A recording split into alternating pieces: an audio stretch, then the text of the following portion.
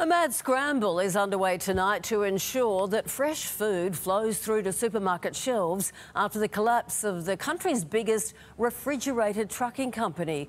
1,500 jobs are on the line, and that's just the start of it, with warnings of ripples passing right through the economy.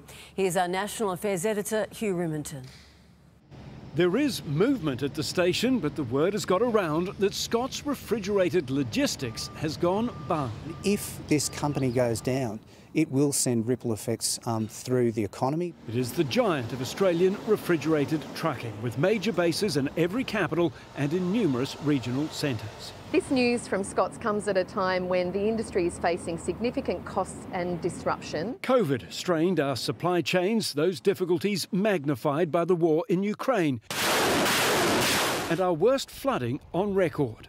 That has pushed up prices, which have driven up interest rates. 50% of the, of the, of the rise in inflation is attributable to supply chain shocks. Right now, Scott's is on life support, the jobs of 1,500 workers hanging by a thread. We are now immediately commencing a sale process to, to find a new owner for the business. The administrator confident a buyer will be found.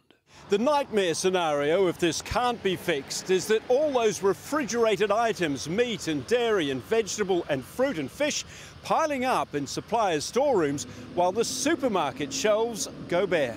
The administrator says there is wide cooperation to ensure supply lines are maintained, but the industry says everything to do with making and distributing food and groceries is becoming a lot more challenging. The union blames the supermarket giants those major retailers at the top of our supply chains are squeezing companies like Scott's to the point that they are just about on the verge of collapse. For a decade, Scott's has been a generous partner to the National Food Bank program, supplying food to our most vulnerable. Food Bank says the timing couldn't be worse as increasing numbers of households struggle. Hugh Riminton for 10 News First.